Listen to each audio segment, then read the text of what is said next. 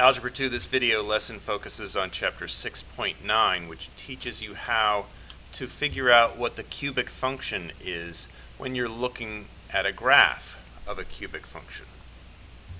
So here's that example that um, I'm going to work with, this graph of a cubic function. And I'm supposed to write down what the cubic function it, um, itself actually is.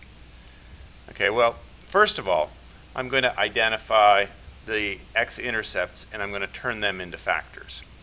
So um, if negative 1 is one of them and positive 2 and positive 3, I change all those signs and I'm going to end up with x plus 1 instead of negative 1, x minus 2 instead of positive 2, and x minus 3 instead of positive 3.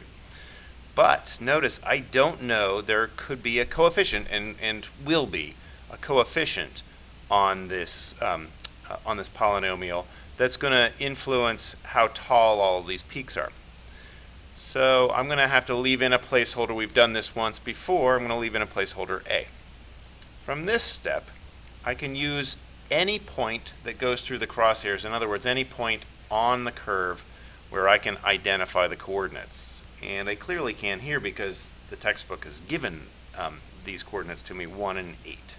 So I plug in the 1 and the 8 in place of y and x and that's what I've got here. Instead of f of x, I called it y. Instead of y, I called it 8. And for the x's, I plugged in 1.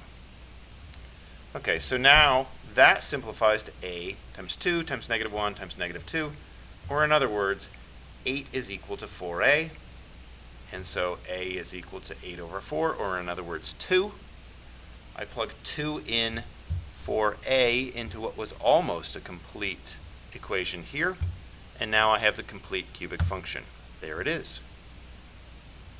So if you need to, don't hesitate to hit the pause button and study all of these steps.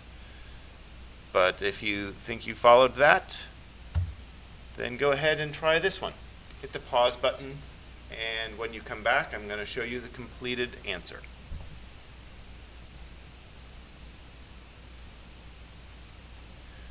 Okay, I'm going to assume that you did that this one's a little bit trickier because of a couple of things. First of all, please notice that the intercept negative 3 here, changed to positive 3, of course, when it becomes a factor, um, is a bounce point. So the degree had to be even, so I've made it 2. Otherwise, this should be pretty much like the example that I gave you.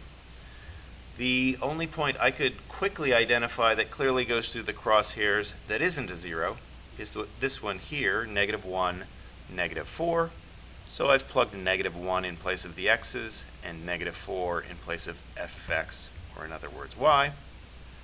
And I run this through, trying to figure out what a is. So if negative 4 is equal to 2 squared times negative 2, then negative 4 is equal to negative 8a.